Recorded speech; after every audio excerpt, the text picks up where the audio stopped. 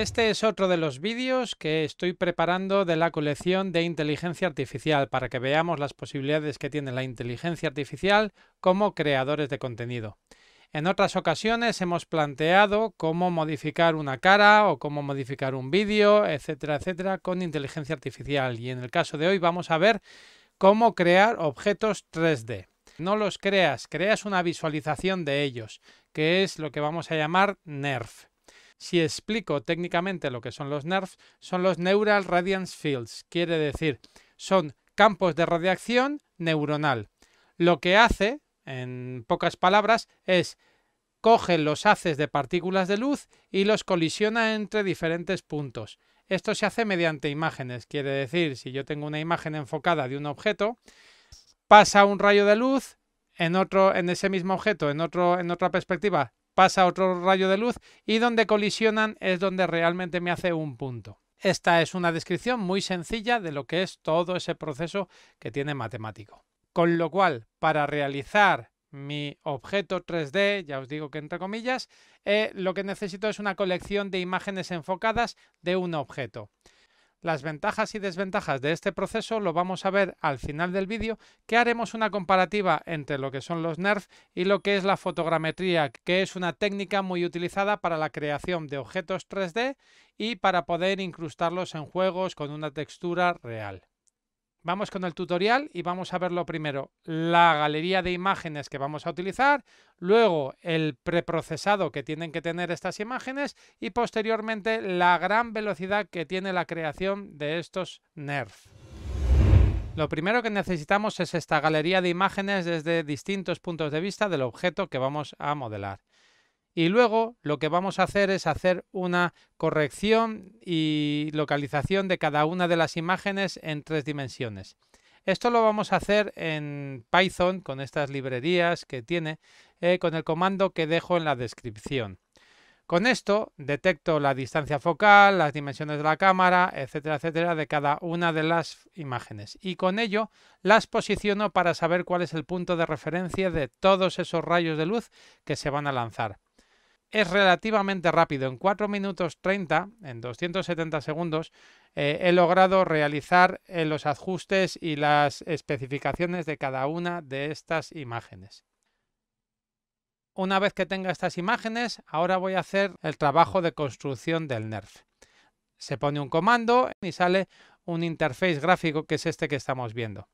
Ahora mismo han pasado 38 segundos reales y vemos que ya se detecta la forma detrás de unas nubes y ahora lo que voy a hacer es recortar un poco las nubes exteriores que no me interesan. Le estoy quitando de la parte de atrás, de la parte de adelante y la posiciono para ver realmente el objeto que me interesa, dado que la luz en cada una de las imágenes colisiona con todo el entorno global que puedes encontrar en, en esas imágenes.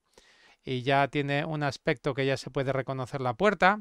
Esta es la puerta de la librería de los monstruos. Eh, y en principio, pues bueno, la puerta principal ya se ve, hay varios detalles todavía que están nublados y eh, bueno, eh, tengo que considerar que las imágenes que se han utilizado para esto no son buenas, ¿vale? Pero lo voy a comparar el trabajo de estas fotos con el trabajo que sale también de la fotogrametría. Vemos que si pasa el tiempo ya el gráfico de pérdidas está más o menos estable y puedo hacer capturas grabando con Save y hago capturas de pantalla un poco de la imagen que me está saliendo desde distintas posiciones que realmente no tengo esos puntos de vista en las fotos reales. Si vemos estamos ya en los 390 segundos que es más o menos un resultado que es satisfactorio y podemos eh, realizar la malla con el Mesit. Si creamos la malla vamos a ver pues que es una malla pero que está mal optimizada y hay que tratarla bastante.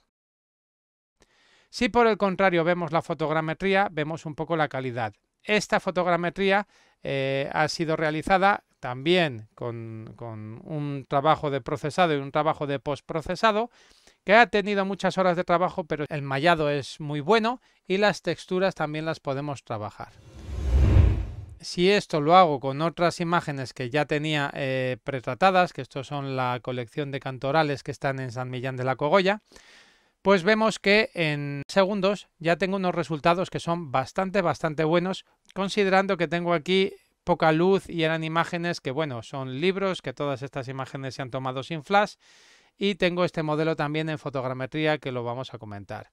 Entonces en fotogrametría, pues lo mismo que antes, podemos ver la malla, que es una malla bastante más densa que la anterior, está menos trabajada y el final render está bien. Pero si vemos ahora mismo, eh, pues eh, el resultado que tengo de Nerf es bastante, bastante real y ya os digo que este eh, está creando en segundos.